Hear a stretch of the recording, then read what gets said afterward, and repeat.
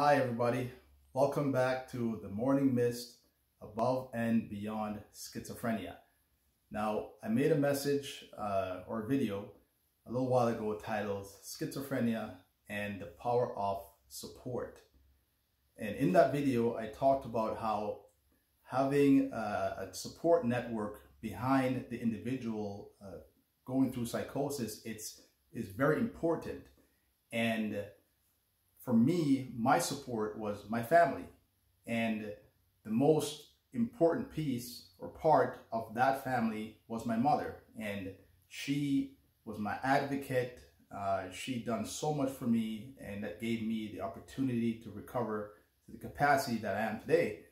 And uh, a lot of you have asked for my mother to be on here and to give her take and her experience, which hopefully are uh, her her answers to the questions that will be posed to her will uh, be able to maybe bring some hope uh, to some of you who are who have loved ones going through psychosis.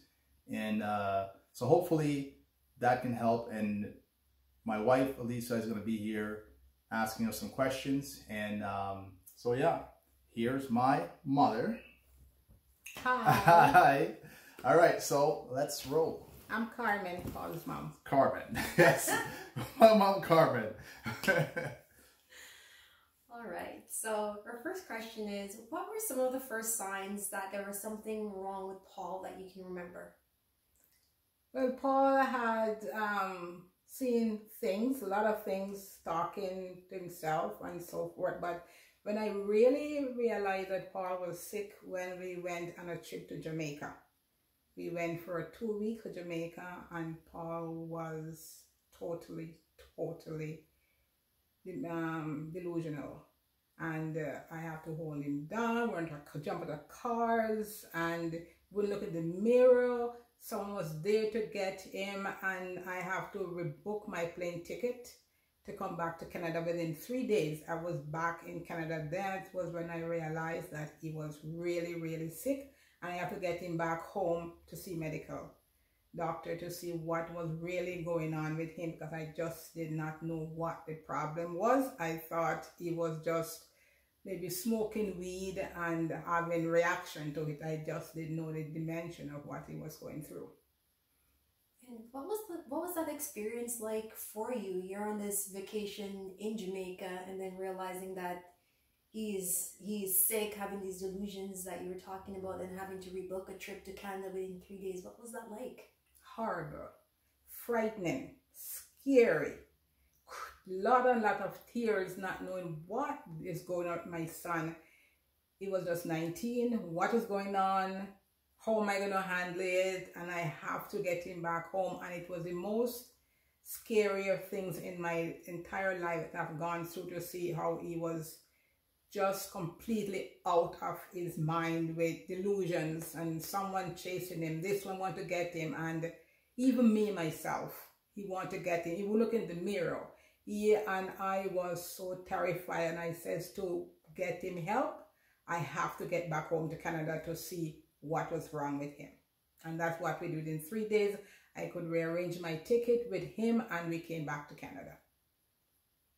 So once you were back in Canada and you saw saw the doctors and assume at some point they informed you that his diagnosis was schizophrenia, what were those emotions like? Did you even know what schizophrenia was before?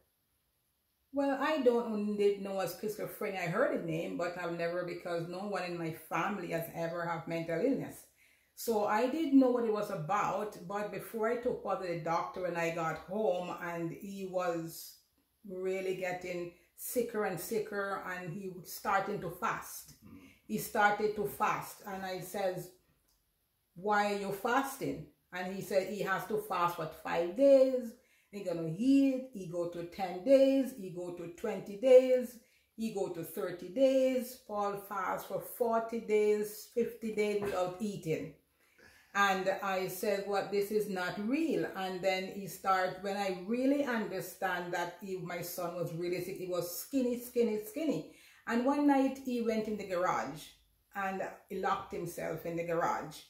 and I didn't know what to do and he was there screaming and praying so loud. So I called my friend whose daughter was a nurse at the hospital and uh, she says, well, what you have to do, you have to call the police, which I did. I called the police and that's how I first get Paul to the hospital so that he can we can get some understanding of what was happening to him. Okay. So it seems like there was a period of um, time by when he came back from Jamaica and before he got to see the, the medical. Yes, because he wouldn't go to the doctor. Mm-hmm. It was problem because he was 19. I couldn't get into the doctor and I would call the police and the men after I heard about the mental act, I would call the police and they would come and they would say, okay, we will take him to the hospital and then and, and then he come back home and then back and forth, back and forth until we decided that I before I could get into the hospital, after I got Paul into the hospital, the doctor told us that he had paranoid schizophrenia. Okay, so that was his official diagnosis. That's what, and I didn't believe it. With delusions of grandeur. With delusion of grandeur, which that was those words are new to me. I never knew what they are, never in my life heard of that name before. And I said to the doctor, no, my son do not have schizophrenia. So I said, okay, we're going to go home because it's not schizophrenia. And we left and we went home. So what were the fears? You know, you heard that diagnosis and you didn't think that it was it was schizophrenia. Like what were your your thoughts on it? Like what did you think was happening? Schizophrenia. That was a really big name because I know just mad people have schizophrenia and we don't have that in our breed, mm-hmm. not in our family, not in our generation. We have never, never have that kind of mental illness. It was very new to me I have to research it. My daughter and I, we researched what schizophrenia is, and still, I did not believe it. I did not believe that my son, who is in school, educated, smart, going to school, have such illness as schizophrenia, voices talking to him, and it was the most scary thing because I myself did not believe the doctor that it was possible. So definitely, um, did you did you feel that um, like a like your own, I guess, the things in your in your family history and also maybe like culture played a, a role in when you heard that diagnosis and just saying, well, this is not this is not possible. Of course, they, it, it plays a big role because when you don't hear of these things, you see other people go through the, the family of mental illness. Then I asked then I says, why would my child be going through this kind of thing we don't have no history of it? Mm-hmm. So it was scary. It was new. It was something that I was really, really afraid of that what happening to him. And why him? Why him? Why not somebody else? He's a good kid. is doing everything that he is doing is good. Why my son? Why him have to have schizophrenia? And that was a very, very scary thing for me to believe in. So I denied myself that he has schizophrenia. Yeah, and then and sorry, and then there was uh, the the thought that or the the, the the prognosis wasn't really good for you know there's no cure you know the prognosis I mean, yes because the doctor when i talk with the doctor in the hospital the doctor says there's no cure for it and uh, he has to go on medication and then I says he's not going to go on any medication because he's not sick. He don't have that prognosis. He don't have any mental illness. He just gonna he gonna go away. It's, and it never goes away. It get worse. Mm. It get worse. And then when it got worse and worse, then I went back to the doctor and I start to believe that because I saw my son's deteriorating he, he's not eating more. He's praying more. He's not talking to the family. He don't laugh anymore. He locked himself away. And it was, he threw up so many, he starved himself so much that he started to throw bile. And that was a scary part. He would throw up, he would throw up, and he would lock himself away. And I was so scared for my son that I went back to the hospital to the doctor. And it was hard to get into the doctor now because I couldn't force him. And he knew that. I couldn't force him. And my son is smart and he tried to outsmart me. So he wouldn't go to the doctor. And a friend says to me you have to go and become his legal guardian I say, well, I am his mom. I am his guardian because in an adult, I have to go and become his guard, legal guardian that I can get the help that he needs. And that's what I did. And so you talk about watching his mental state deteriorate over, you know, over a period of time. And that's what kind of like got you to, you know, come to that realization that something is wrong. Maybe doctors are correct um, with this with this diagnosis. What was that like? Was this still a bit of conflict in between? Like, is it really schizophrenia? But I see him deteriorating. Like, was there any? What was the well, emotions like? It was it was a roller coaster of emotion. It took it's a roller coaster for me and his siblings and his his, his, his cousin, so that it was hard. It was hard for us because we're his his support we're always there for him. We're always there for Paul so that he knows we are there, even though he don't acknowledge we are there. But as soon as we, I acknowledge it and that he is sick, and we go and I've, and then I got to the to the courthouse and I got to talk to the judge and they grant me his guardianship, which means I have a right now to call the police on the Mental Health Act I have the right to take him to the hospital. I have the right to, to get medication for him. He has no right. I took away all his rights. And, and then that was a re, the only way I could go and get help for him. And then when I start to go to the hospital with him, he, I would put him in the hospital tonight. And tomorrow, he talked himself right out of the hospital to the nurse. When I go look for him, he discharged himself and he was gone. And the next night, is the same thing over and over again for about three, four months that went on. And it was quite frustrating because I know he's sick, but his, his mental thing is he gets so smart with it that he can trick the doctors that he's okay. And my mom is the one who needs mental treatment because she's sick, not me. And sometimes the doctor look at me at the hospital and think my son is right. I'm the one who's crazy and he's okay, even though they know that he is mentally ill and it's very, very difficult to get a mental health patient in the hospital to stay there because put them in today and tomorrow my son will be out of the hospital. And it was painful. Tear, lot of tears. It was very, very painful in those days. Yeah. So it seems you talked about becoming his legal guardian and having the mental health act, being able to apply for that, and you kind of feel like you had some sense of a little bit more of control. You could really get him the care that he needed. But on the flip side of that, when you got him the care that he needed, here he was discharging. Following day. Yeah, discharging himself. And, mm-hmm. you know, like, what is that like? Because you have these supports that are in place that are supposed to to help, but at the same time, it seems like they were also not helping.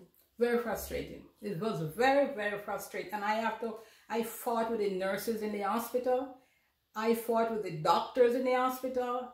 I get angry. I have tears. I cry a lot of times because there is your son, your child you love to death. And you cannot do nothing to help them. And when you put them in a place that was there to help them, the same place turn them away. As soon as you leave, they turn them away. Very, very frustrating, very, very painful. lot of sleepless nights worrying if my son gonna live or gonna die and no help no help because the mental health system in the hospital is just no good you have to be up and coming and be there all the time i put my son in the hospital today and when i go tomorrow the day after they says well he signed himself out no one will call mm-hmm. and says, we are going to let him out. And I worried when they let him out, did he find his way home? How did he get home? So all those were factoring in his psychosis. Yeah. You kind of, you know, spoke to this a little bit and you know, at any point, you know, you talk about that there was lots of frustration, you felt really scared, but at any point in this journey, did you ever feel any sense of hopelessness or even powerlessness along the way? I find I find I, I found it powerless then when I did not have his when I was not becoming his um before being the guardian his guardian because that without being his guardian there's nothing you can do mm-hmm. and after I got his guardianship even though I have it, sometimes you feel powerless because when you put him in a, in a place to help him, they send him away over and over and over. I had to persistent there, persistent. And there's one time when my son had a real, real breakdown. And the hospital that we took him to all the time was filled up, no space, and they took him to a second hospital. And that was when the breakthrough came.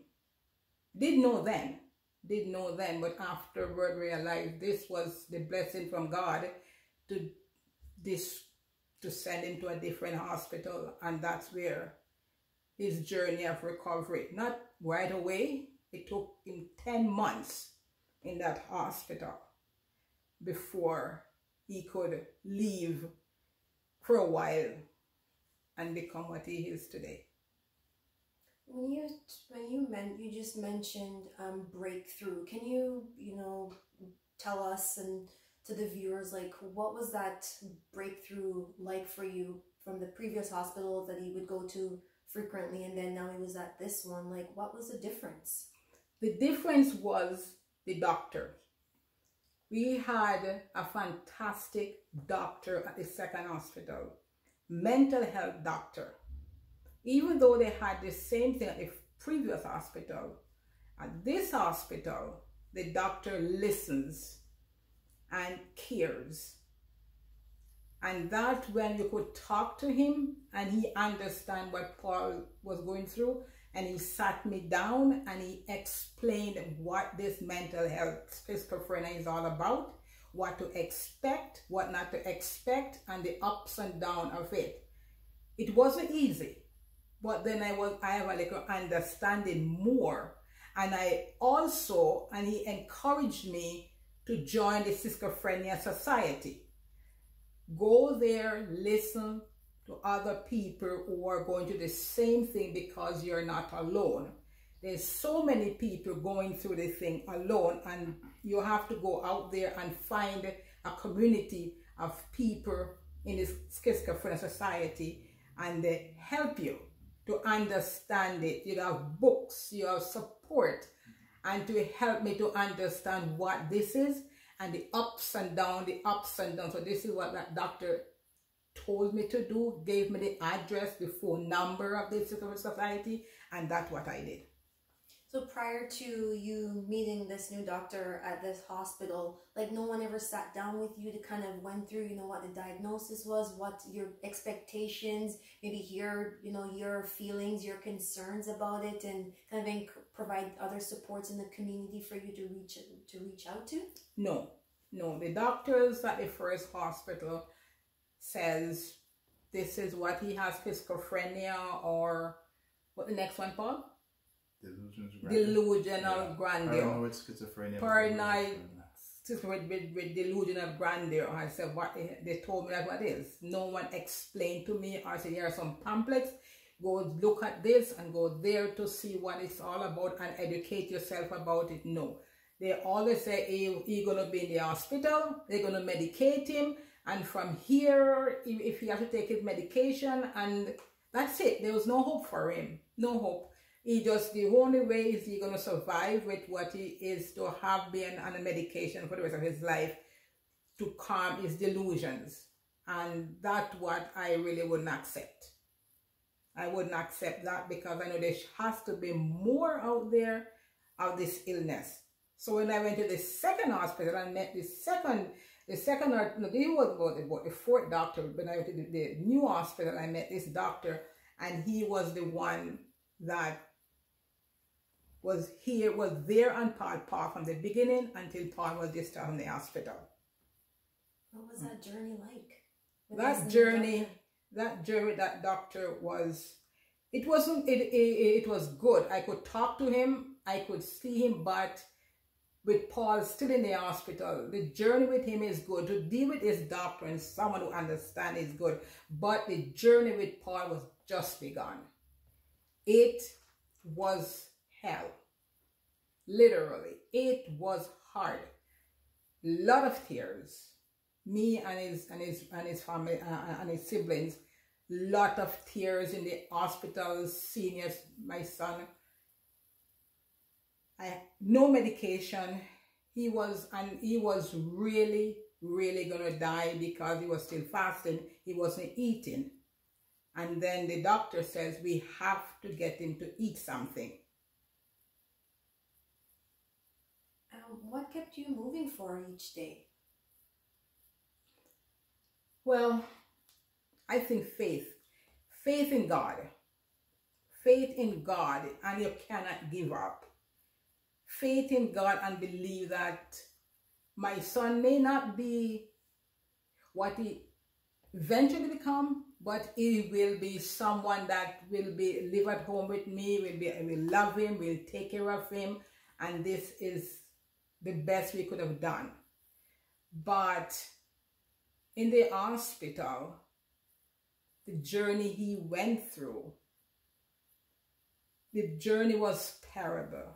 It was hard because because Paul fasted a lot. He has to have food because if he don't have food, he would die. He was gonna starve himself to death. And uh, the doctor suggested that we have to feed him, put tube in his nose, which he reject completely. He would not have that because I don't want to eat. And because I am his legal guardian, I have the right to ask the doctor talk to me and says, Carmen, this is what we have to do to save Paul's life. Paul reached a stage where he's not going to live if we don't put some food down in him. We have to put tube in his nose.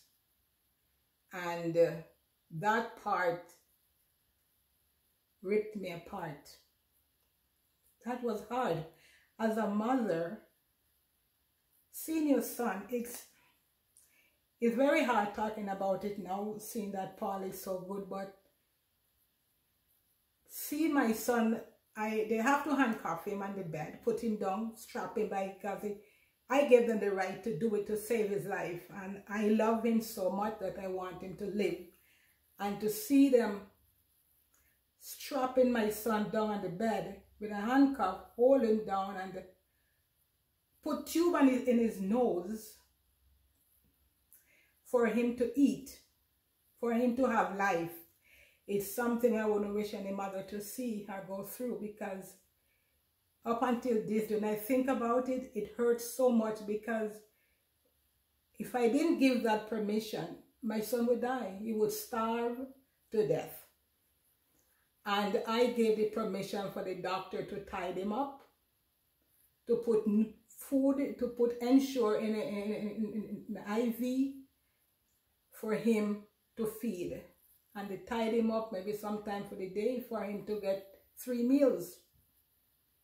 It was hard for me to go to the hospital and look at my son that way. It was hard for me not to say, loose him, take it there, but it was worse if I didn't do it. I know I would lose him and I love him too much to lose him. So I decided to go through the pain, the heartfelt pain, so that my son can live. And that's what I did.